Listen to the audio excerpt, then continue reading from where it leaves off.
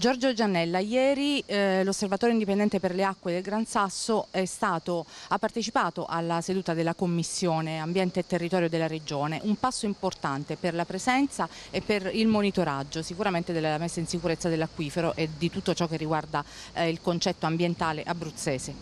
Sì, mm, eh, quella di ieri è stata un'audizione richiesta più di tre mesi fa alla Commissione Ambiente del Consiglio regionale e finalmente eh, la, la, prima interlocuzione con eh, non solo un'istituzione regionale ma con tutti i consiglieri regionali su questo problema.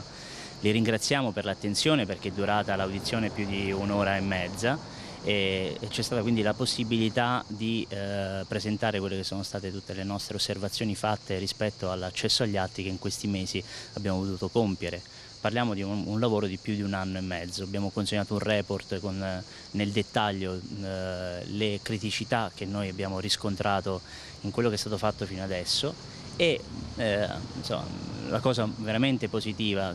essendoci stata la presenza anche del vicepresidente della regione Lolli,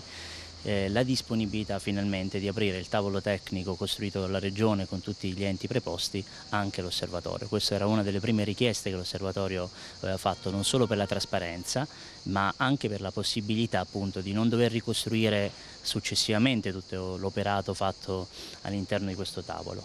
Oggi inizia quindi un percorso nuovo dopo un anno e mezzo e eh, la vera battaglia adesso sarà sui tempi, cioè sulla capacità di recuperare tutto quello che non è stato fatto fino ad oggi perché abbiamo sentito diverse progettazioni, però finalmente eh, anche nel tavolo tecnico è emersa l'esigenza di eh, ripartire dalla impermeabilizzazione completa e noi abbiamo messo un accento anche sull'applicazione, sul rispetto della Seveso perché è una normativa che gli enti preposti invece a quanto pare nei laboratori in questi anni hanno lasciato correre e quindi lo stoccaggio di quel materiale che sappiamo essere nocivo.